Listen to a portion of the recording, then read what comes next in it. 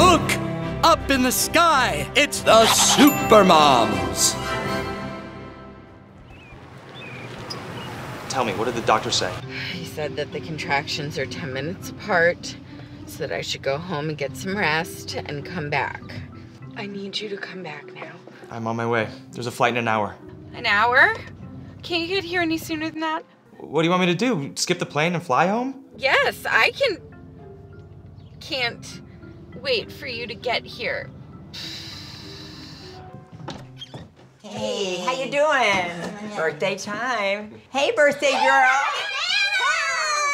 Hey, oh. you will never guess what I brought you. What? oh, it's okay, baby. You bought her a kitten without asking me first. Well, it was in front of the supermarket. It needed a home. You have a home, and your daughter wants a kitten. You do the math, Kelly. The math is is that I was going to get one for her, not you. Look, Nana. Tom and I are the heads of this household. And you may think that it's a mess and my garage is cluttered and my skills as a gardener might not meet your approval. But this is my home and I make the big decisions here.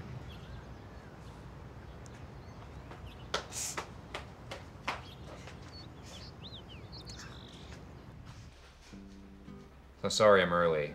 Oh, it's fine. I was just in the middle of making.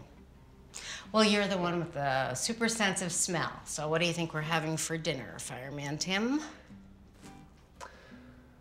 Maggie, can we, uh, we talk? Yeah. Is this about what happened with my ex husband? Because. No, no, no, I, I totally get it. I would have slugged them. and I would have approved.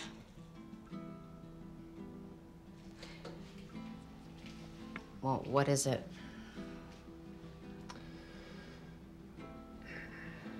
I am the worst daughter-in-law in the world. I just, I just told off my kid's grandmother for the heinous crime of buying Lily a kitten. My God, what was I thinking? What were you thinking? I mean, she's a harmless old lady. She's cat crazy. She's completely meddlesome. She doesn't. Nana, uh, Nana, Kids, stay there. I'll get her. Mom. Really?